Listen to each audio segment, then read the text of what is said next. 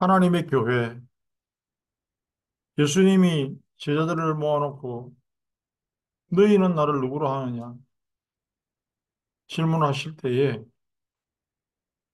세상은 나를 누구로 하느냐 먼저 물어보셨죠. 오늘 우리는 말씀을 내가 교회다, 네가 교회다. 그렇다면 세상은 교회를 어떻게 생각할까? 오늘날 현장에서 교회를 어떻게 생각하느냐라고 물어보면 사람들의 대답이 그렇게 다양하지도 않지만 또 호의적이지도 않습니다. 교회는 하나님이 완전하게 만들어 놓은 게 교회입니다. 보이는 교회든 보이지 않는 교회든. 그러면서 하나님이 오늘 말씀해 보니까 너희가 하나님의 성전이다. 그러면 세상은 나를 향해서 뭐라 그럴까? 세상은 교회를 향해서 뭐라고 평가할까? 우리가 교회가 무엇이냐고 묻는다면 평생을 교회에 다니는 사람들이 아마 한마디로 대답하기 힘들지도 모릅니다. 왜 사냐고 물으면 그냥 웃고 마는 것처럼 교회가 뭐냐고 물어볼 때에 교회는 이런 것이다. 글쎄요. 한 번도 그 부분에 대해서 질문을 하거나 받아본 적이 없다는 이야기겠죠. 구원이 뭡니까? 착한 일은 뭡니까? 마찬가지일 거예요. 그리스도는 어떤 의미입니까? 그리스도에 대해서 생각해 보세요. 내가 맨날 사람들에게, 특히 교회에 다니는 사람들에게 하는 말이 적어도 우리가 크리스찬이 돼가지고 자칭 그리스도인이라고 하는 저 여호와의 증인들보다도 그리스도에 대하여 설명을 할 내용이 없다면 우리는 가짜가 아닌가. 평생에 교회에 적을 두고 다니고 나름대로 열심히 특심으로 다니지만 내가 왜 교회 가는지 목적을 모르는 채로 다니는 사람이 얼마나 많은지 모릅니다. 그냥 교회 생활, 신앙 생활, 뭐 신교 활동 그 정도 수준 이상도 이하도 아닌 그런 교회의 멤버들 얼마나 많은지 몰라요. 전에 LA에 와서 초창기 때 한 6개월 동안 같이 그 일을 하러 다녔던 분이 교회가 자기를 부르지 않고 자기는 교회에 가야 될 이유가 없다. 제일 큰 이유가 뭐냐 물어봤더니 자기 아내를 보니까 자기가 믿는 종교에 대하여 고민하는 흔적이 전혀 없더라는 거예요. 어, 저거는 별로 중요하지도 않은 데를 다니는구나. 이렇게 생각되더라는 거죠. 자기가 다니는 교회에 대해서 좀 심각하게 생각을 하거나 고민을 하거나 그런 부분이 옆에서 전혀 볼 수가 없더라는 거죠. 자기는 안 간다는 거예요. 주변에 중직자들도 많고 이런데 그래서 자기는 그걸 보고 아, 꼭 가야 되는 데는 아니구나. 그래서 안 간답니다. 하나님은 교회를 완성하셨어요. 더 이상 손댈 것이 없도록. 오늘 보니까는 요한복음 10장 10절을 써놓고 우리 왜 동네에 있는 거죠. 우리 집 앞에 있는 교회 빌보드에 그렇게 해놨어요. 하나님은 처음부터 고칠 만한 것으로 만들지 않았다. 완전하신 하나님, 영원하신 하나님. 교회를 통해서 나타내는 것은 뭡니까? 그 교회에 소속된 성도들이에요. 하나님의 자녀고요. 사람들이 많이 그런 말 하잖아요. 교회를 뭐 사람 보고 가냐? 하나님 보고 가지. 그렇게 말하는 사람이 하나님을 과연 봤냐? 하나님이 보이냐? 눈에. 그럼 처음 교회 오는 사람이 하나님이 보이냐? 십자가에서 보일까요? 강단에서 보일까요? 아니면 뭐 교회 의자에서 보일까요? 사람을 통해서 보입니다. 세상 사람들은 교회를 어떻게 평가할까? 그럼 교회에 있는 사람들을 보고 평가하죠. 정말 교회는 좋은 곳이다. 이렇게 평가하든지, 교회 다니는 사람들은 뭐가 달라도 달라. 이렇게 평가하든지. 아니면 교회에 다니는 놈이 더 나쁜 놈이야. 이렇게 평가하든지. 마태복음 16장 예수님이 제자들을 향해서 질문하신 내용처럼 세상은 교회를 어떻게 보고 있고 교회에 다니고 있는 나는 교회를 어떻게 평가하는가? 그 교회의 값어치에 대하여 내놓을 수 있는 대답이 있는가? 정말 세상 사람들이 하나님의 교회에 대하여 하나님의 영이 그하고 하나님의 자녀들, 즉 택함 받은 사람들, 부름 받은 사람들이 구별된 모임을 가지고 세상의 빛과 소금으로 살아가는 훈련을 하는 곳이다. 이렇게 대답할 수 있을까요? 그렇게 평가할 수 있는 사람이 얼마나 될까요? 지금 한창 온라인, 뭐 SNS, 모든 매체를 보면 성탄, 크리스마스 트리 난리가 났잖아요. 지금은 교회 안 나가고 있는 어떤 사람한테도 내가 어제도 물어봤어요. 크리스마스에 제일 뭐가 생각납니까? 내가 답을 이야기했어요. 그동안 여론조사를 해왔는데 제일 먼저 생각나는 게 크리스마스예요. 그리스도가 생각난다는 사람은 없더라. 어, 크리스마스. 크라이스트께 미사를 드리고 예배를 드리고 어, 그리스도가 분명히 이름 자체가 그리스도를 향한 것인데 사람들이 크리, 크리스마스라면 제일 먼저 산타가 생각나고 크리스마스 트리가 생각나고 심지어는 루돌프가 사, 생각나고 예수님은 생각이 안 한다는 거지. 그리스도는 보이지 않는 크리스마스. 세상은 교회나 크리스천에 대하여 포기한 것인가? 그렇지 않습니다. 왜 아니냐 하면 그 증거가 뭐냐면 똑같이 도둑놈이 빵 하나 훔친 거하고 교회 다니는 예를 들어서 뭐 집사나 장로나 누가 어, 빵 훔친 거하고 달라요. 평가가. 아, 이 교회 다니는 놈이 이러잖아요. 그 말은 뭐냐면 기대하고 있다는 거죠. 교회 다니는 사람은 뭔가 달라야 된다. 그렇게 기대하고 있다는 이야기거든.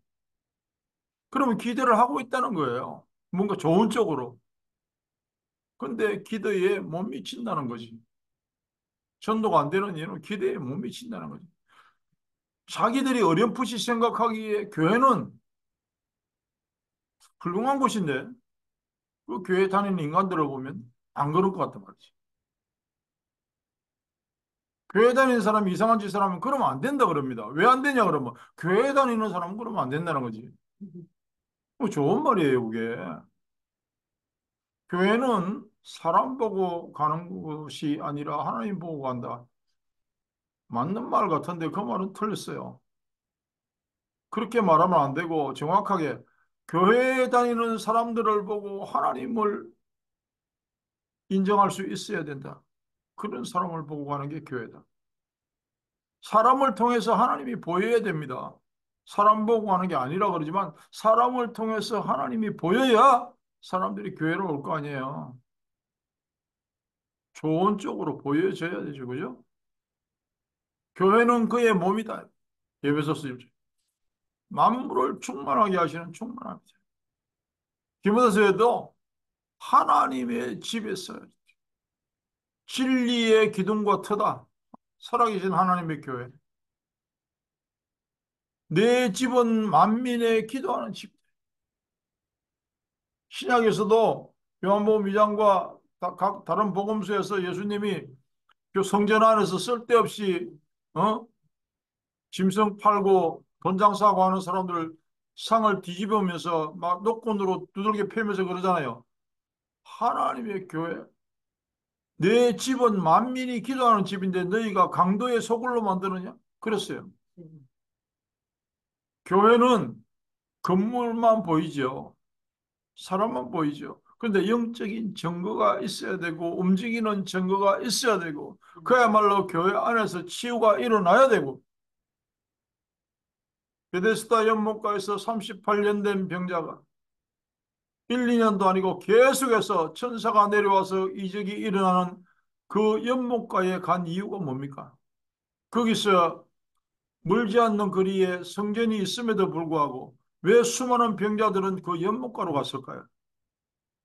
교회가 치유가 없기 때문에 그걸로 연못가로 갔어요. 그 예수님이 친히 가셔서 대표적으로 그 38년 된 병자를 고쳐줍니다. 교회에는 치유가 있어야 되고 변화가 있어야 되고 모든 것이 녹아드는 감동이 있어야 되고 하나님의 영광, 하나님의 빛의 증거를 보여줄 수 있는 곳이 교회여야 된다. 다른 말로 하면 교회라고 하는데 속해 있다면 내가 교회라면 하나님의 말씀처럼 하나님의 성령이 거하는 전이라면 우리 육신이 그냥 왔다가 사라지기 전에 왜 예수님이 오셨는가를 누가 보여줍니까? 교회가 보여주죠. 음.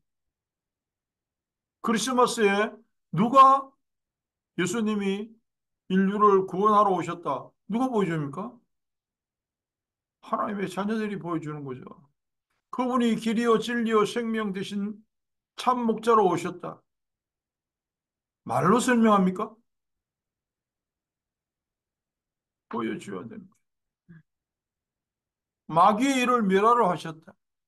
신구약 66권이 전부 예수 그리스도를 조명하고 있는데 예수 믿는 사람, 교회 다니는 사람, 하나님께 부름받은 사람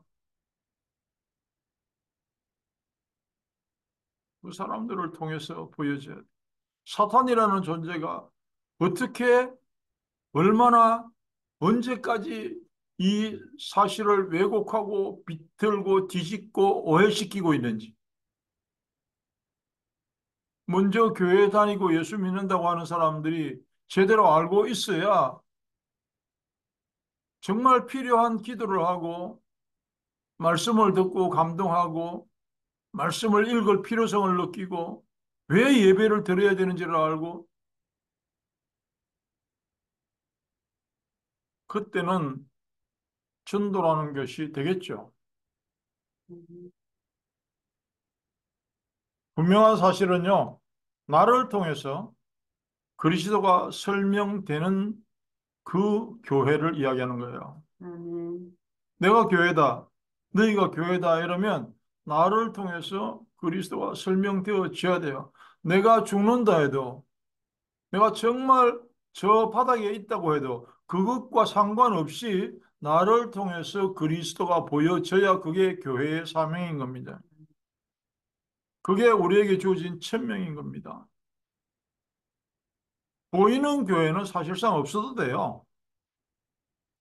눈에 보이지 않아도 영원하고 완전하고 유일하신 그리스도를 설명할 수 있는 교회.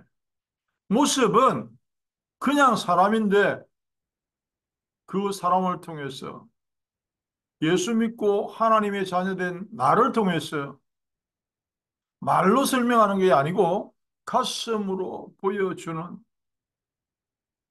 전달되는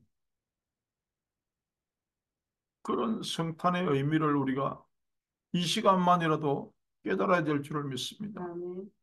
내가 믿는 하나님의 자녀,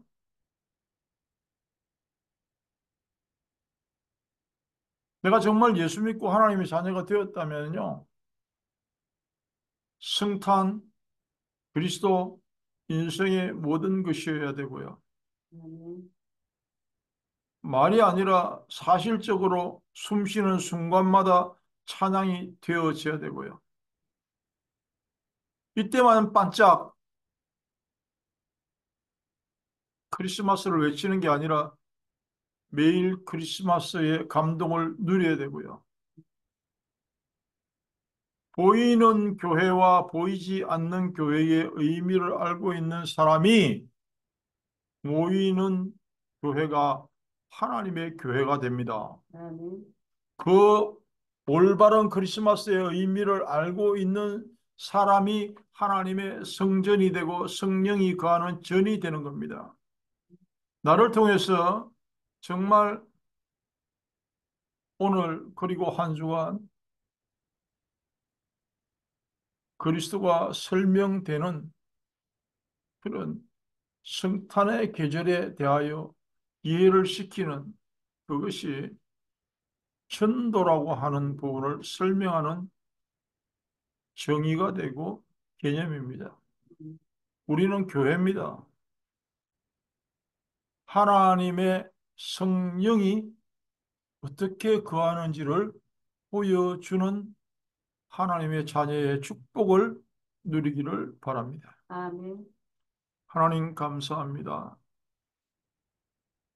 오늘도 내일도 매일 크리스마스를 찬양하는 하나님의 교회이기를 간절히 소원하며 기도합니다. 아멘.